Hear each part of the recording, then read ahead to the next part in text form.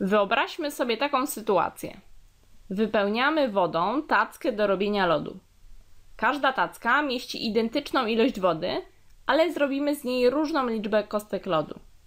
Niebieska tacka mieści 8 równych kostek lodu. Czerwona tacka mieści 16 równych kostek lodu. Przypuśćmy, że wkładamy do szklanki z napojem 3 kostki lodu z niebieskiej tacki.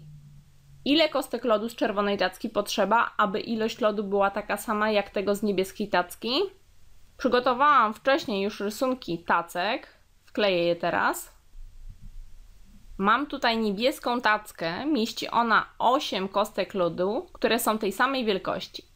Mamy też czerwoną tackę, mieści ona identyczną ilość wody, ale zrobimy z niej 16 kostek lodu. 16 kostek równej wielkości. Zaznaczmy najpierw, ile kostek bierzemy do szklanki z niebieskiej tacki. W zadaniu mamy napisane, że bierzemy trzy kostki. Bierzemy jedną, drugą, trzecią. Tak właściwie nie kostki, tylko tutaj prosta padłościany bierzemy, ale potocznie mówimy kostki. Mamy teraz kilka sposobów na zrobienie tego zadania. Mamy odpowiedzieć, ile kostek lodu z czerwonej tacki potrzeba, aby ilość lodu była taka sama jak tego wziętego z niebieskiej tacki. Możemy zrobić to zadanie za pomocą ułamków, możemy też wykorzystać rysunek. Ile wzięłam kostek z niebieskiej tacki? Wzięłam trzy kostki, trzy kostki z tacki, w której było 8 kostek. Zatem wzięłam 3 ósme lodu z całej tacki.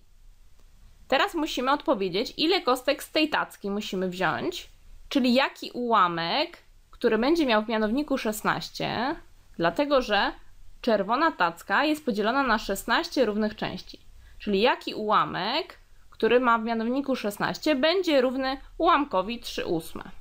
Zapiszę pod spodem 3 ósme ma być równe ułamkowi ileś tam 16.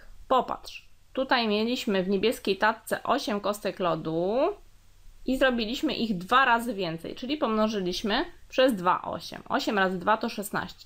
Zatem licznik też trzeba pomnożyć przez 2, jeżeli rozszerzamy ułamek i chcemy, żeby był równoważny.